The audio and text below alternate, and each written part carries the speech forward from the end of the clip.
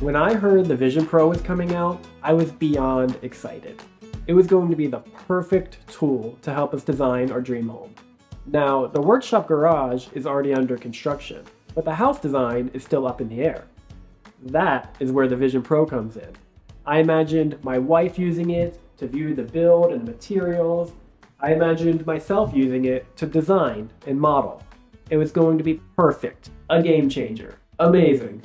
But the reality is, the workflow is a little bit messy. It turns out there is no easy way for multiple users to quickly view content on the headset. And even though everybody who tries the device loves it, Oh my gosh, that is like such a cool forest. Oh man. it's not the perfect tool to design our house yet. And I say yet because a lot of the limitations should be overcome shortly, and it gives a really cool look of the future. Here, to show you what I mean, let's walk through our current design process.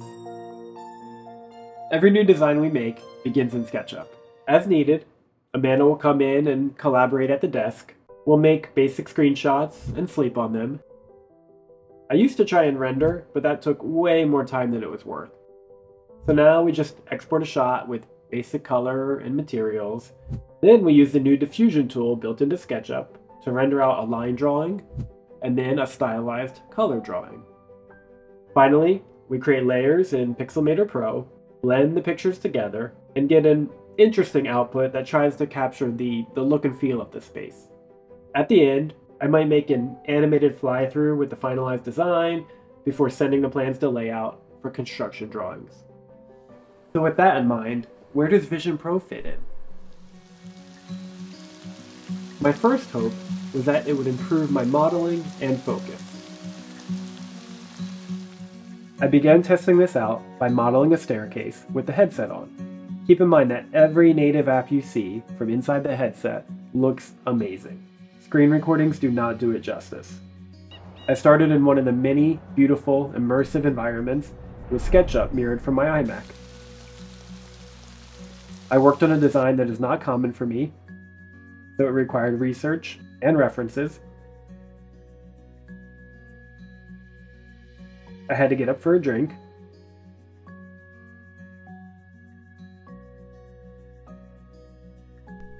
I'll always need my wife's opinion at some point. But she can't see what I see, so I have to mirror to her computer.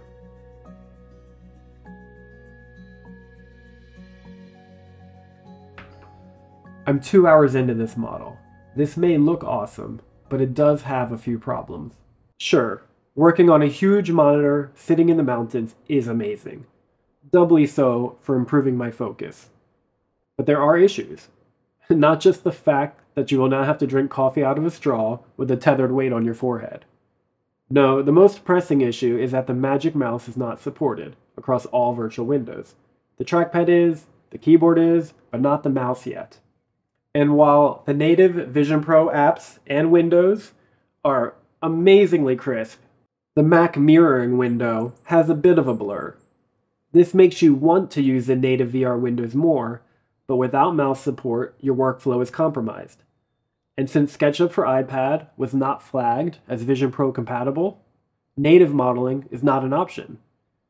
Now, you should know that I'm not a huge fan of SketchUp's window management.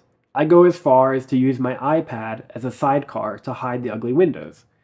I was hoping I could jump into Vision Pro and either use the SketchUp iPad app, which has decent design, or mirror multiple Mac screens to overcome this. Unfortunately, neither is possible. So while there is hope, Vision Pro doesn't improve my modeling workflow yet. Trimble, if you're listening, please improve the SketchUp Mac app and please make the iPad app compatible with Vision Pro. I don't know if my digital eyes are conveying the frustration, but it would make life a lot easier. Moving on with a freshly designed model, I couldn't wait to view it in fully immersive virtual reality. If VR is amazing, I don't have to spend time on stylized drawings or fly throughs anymore. Well, it looks like I'm gonna have to keep waiting because, for the life of me, I could not figure out how to view a SketchUp model in immersive VR.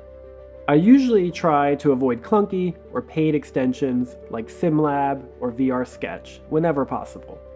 But in this case, even those don't support Vision Pro. SketchUp doesn't yet export to GLTF files, but there are extensions that do that. I exported and tried to view them on Sketchfab, but that doesn't appear to support Vision Pro either. Browsing Immersive Web, it is clearly possible because I have found examples that work and look great. Viewing these required me to enable new test feature flags in the Safari settings. Then I discovered a temporary solution.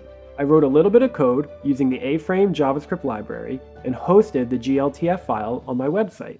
That finally allowed me to view my model in immersive VR. Now, while I enjoy writing scripts that format my models and publish them to my site just as much as the next guy, there has to be an easier way. I could not figure out how to walk through the model.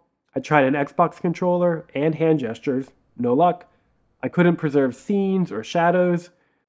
If an elegant solution exists, I could not find it. While there is hope, it looks like VR plus SketchUp plus Vision Pro is not there quite yet.